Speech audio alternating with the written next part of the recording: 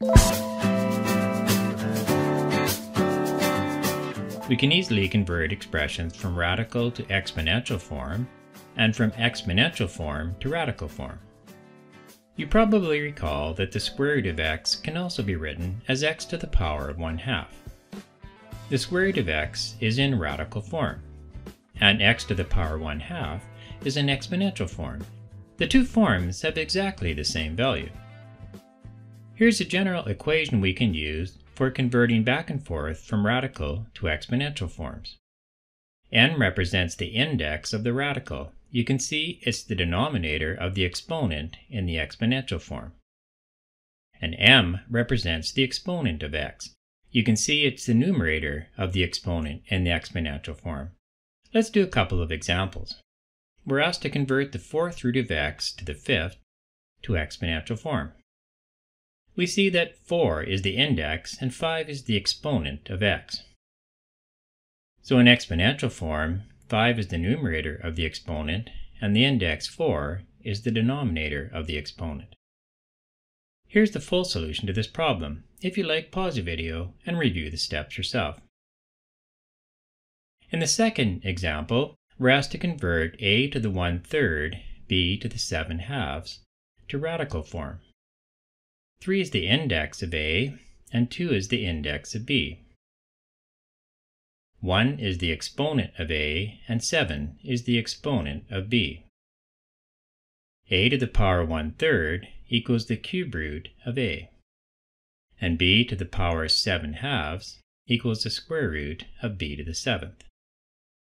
Here's the full solution to this example. If you like, pause the video and review the steps yourself. Remember, a number or variable with a negative exponent is the same as its reciprocal with a positive exponent. Here's an example. We're asked to convert x to the negative 1 quarter to radical form.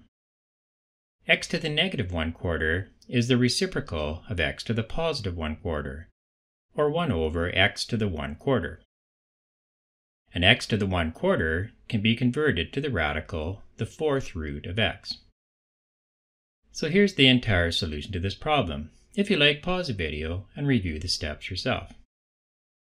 Let's do another example. We're asked to convert 1 over y to the negative 2 thirds to radical form. 1 over y to the negative 2 thirds is the same as y to the positive 2 thirds. And y to the positive 2 thirds can be converted to the cube root of y squared. 3 is the index, and 2 is the exponent of y. So here's the full solution to this problem. If you like, pause the video and review the steps yourself. In this example, we're asked to express 1 over the cube root of a to the seventh in exponential form. We'll assume that a is not equal to 0 to avoid having a 0 in the denominator. The cube root of a to the seventh can be converted to a to the power of 7 over 3 and 1 over a to the 7 thirds is the same as a to the negative 7 thirds. Here's the full solution for this example. If you like, pause the video and review the steps yourself. As you'll see, converting back and forth from radical to exponential forms is a very useful skill to have.